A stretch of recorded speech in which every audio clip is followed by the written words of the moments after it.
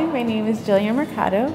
I'm from New York City and I am a editor, a writer, a model, and a um, director of a magazine.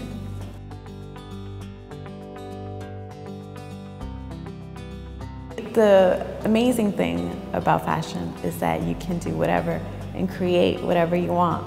Different models. I think that's amazing that we're getting a chance to um, change, change it, change the modeling world and, and the fashion world with different kinds of uh, people who look different. Um, and I think that's beautiful.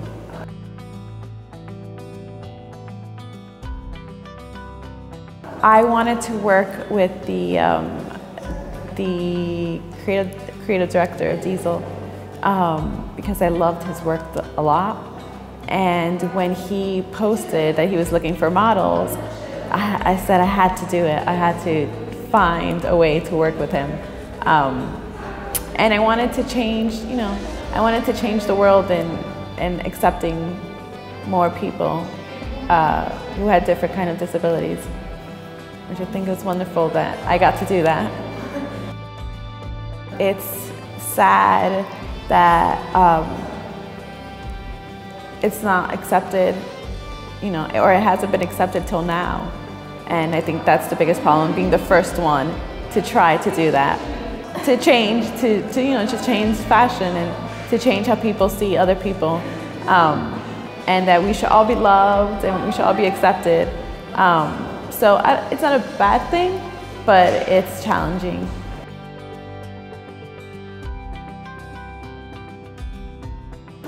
Oh, my inspiration, my mom. My mom, she sold baby clothes. Um, and I, I, rem I, remember always being with her um, while she was sewing clothes. And that's where I started my love for fashion um, because of my mom.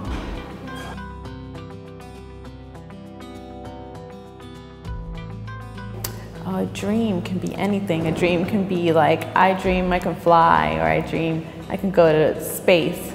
Um, oh, you, you, could go to space, but um, it's a dream is, you know, it's something that's not, it's, it could be anything. A goal is something you plan and you actually have steps to get there um, and you do it.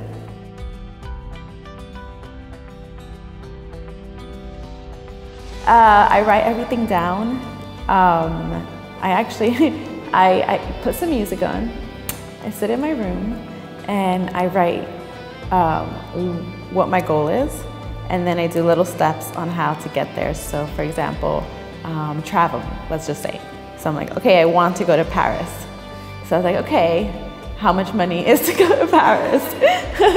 so I write that down and you know, then I have to figure out, okay, now I need to work really hard to get there or um, what I'm gonna wear there. So that there's like, you know, different things that you to get there. Um, but you have to be very motivated to do it.